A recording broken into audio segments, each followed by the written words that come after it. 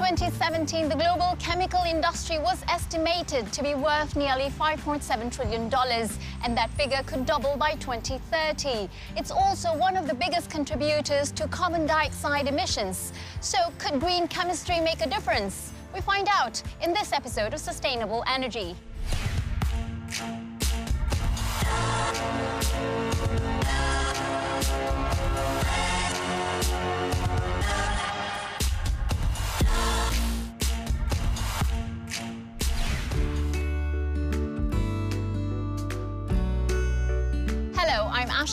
Today I'm looking at ways to make the chemical industry greener using nature-based solutions, our theme this year. Later, I'll be speaking with Paul Anastas. He's the director of the Center for Green Chemistry and Green Engineering at Yale University. Paul is regarded as the father of green chemistry after publishing Green Chemistry Theory and Practice in 1998. Along with his co-author, John Warner, they established the original pillars for sustainable chemistry. We'll also look at how green chemistry has developed globally and what could be lying ahead. Also, coming up on this episode. We show you how the chemical industry is affecting climate and the environment. We ask, how can green chemistry help reduce its impact? Turning grape juice into wine is a well-known chemical reaction. We'll be traveling to the south of France to find out how a greenhouse gas is ensuring bottles are good enough to drink. In these plants, nearly half a billion cork closures are manufactured and sold worldwide.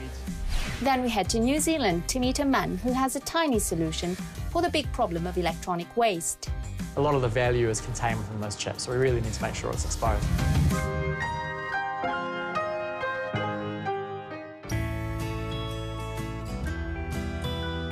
Chemistry impacts our lives in so many ways, through the clothes we wear, the food we eat, and even the medicine we take. And there's growing interest in the subject because according to the International Energy Agency, the chemical sector is a big polluter and the largest industrial energy consumer.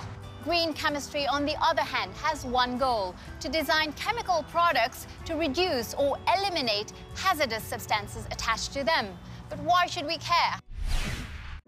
As global income rises, our need for modern products relying on chemicals is also growing. Thanks to them, we can heat and power our homes, buy clothing, and access telecommunication, media, and music. This is good for the global economy, but chemicals may affect human health and the environment if not properly managed. In 2016, the European Environment Agency estimated 62% of chemicals consumed in Europe were hazardous to health.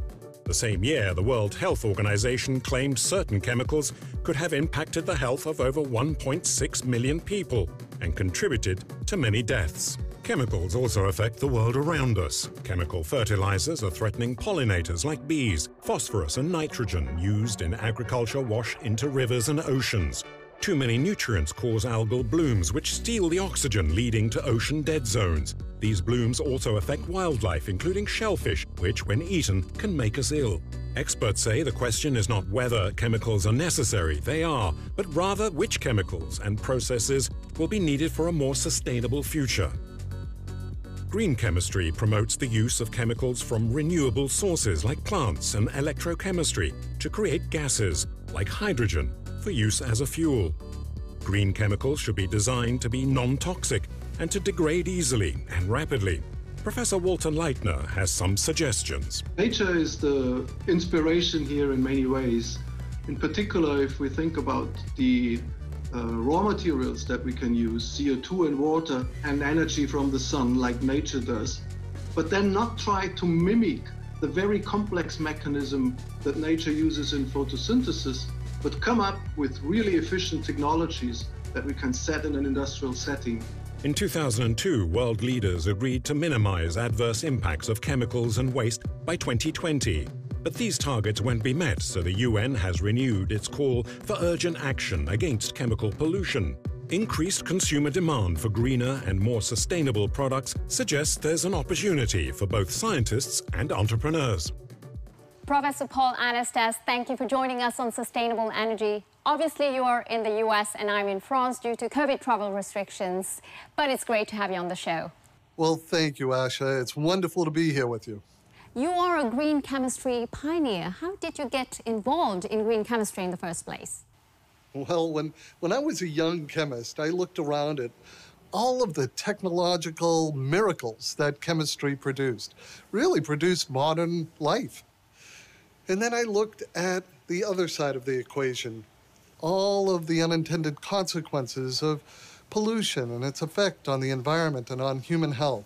So green chemistry is really a way of keeping all of those technological miracles, those innovations, without all of those unintended consequences. In your book, you laid out the 12 principles of green chemistry. Why is preventing waste at the top of that list? Waste, we need to recognize, is a man made concept. In nature, there is no waste. Every time a waste is generated, an organism evolves to use that waste as a feedstock.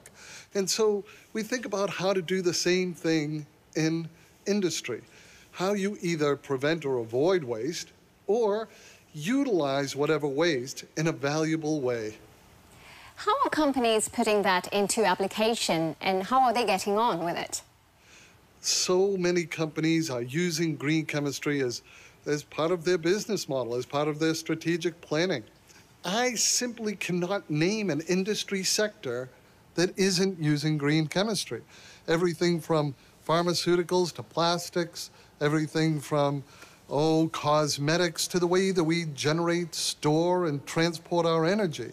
Now, I'm not going to say that companies are doing it systematically or in all of their products, but great strides are being made. Chemical solvents are heavily used in industrial chemistry, but manufacturing them uses a lot of energy.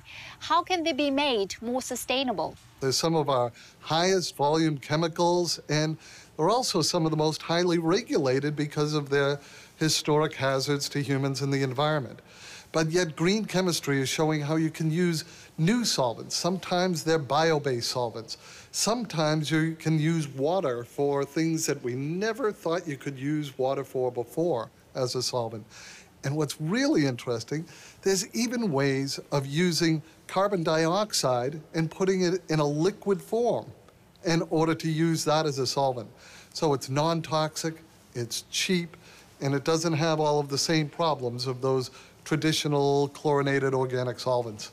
How easy is it to reduce the use of energy in chemical production by applying the principles of green chemistry? We've forced chemicals to do things they didn't naturally want to do. So we've heated them up, we've put them under pressure, and we've tortured them to, to obey and become the things we want them to become. But it's not just the quantities of energy that's important. It's the character and the nature of energy that we use.